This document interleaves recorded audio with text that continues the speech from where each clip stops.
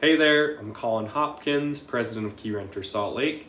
Today I wanted to discuss with you all something that has come up quite a few times in some of my conversations uh, with you guys individually.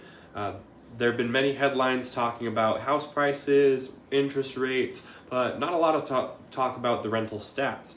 Uh, so many of you might be wondering how is how are rental prices versus home prices going up and with all this interest rate and how is it affecting my property?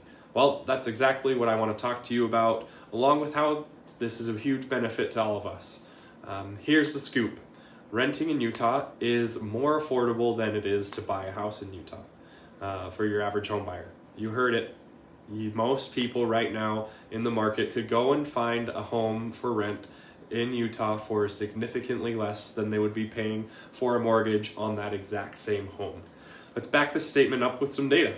In Salt Lake County, the median home sales price of a single family home was 523,000 in January of 2024. If we take that median sales price on a four bedroom, two bath house and we put an average 10% down payment down, you'd be looking at a mortgage payment of a whopping $3,500 a month. This also would be the average home out there uh, in Utah.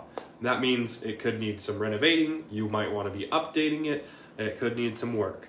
Now let's compare that with your average home for rent.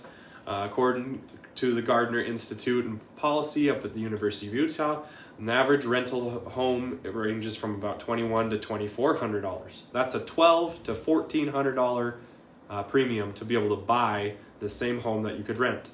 If that doesn't paint a picture of why it's more affordable to rent than to buy, I don't know what else will. Uh, now, what does that mean for you and I, uh, for you and I? As home values go up, more and more people will turn to renting.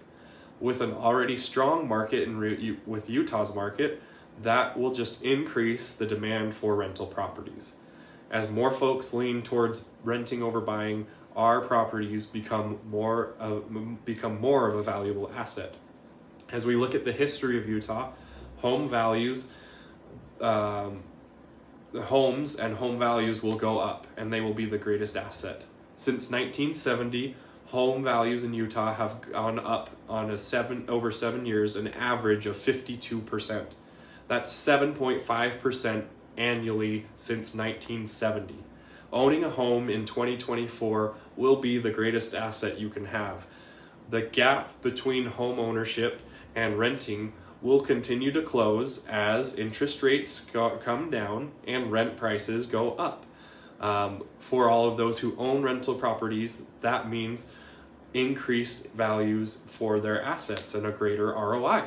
Um, as we should expect over the next seven years, we should see an additional 52% increase in home values, along with all of the cash flow, the principal paydown that someone else is doing for you, the tax benefits, the depreciation, and so much more.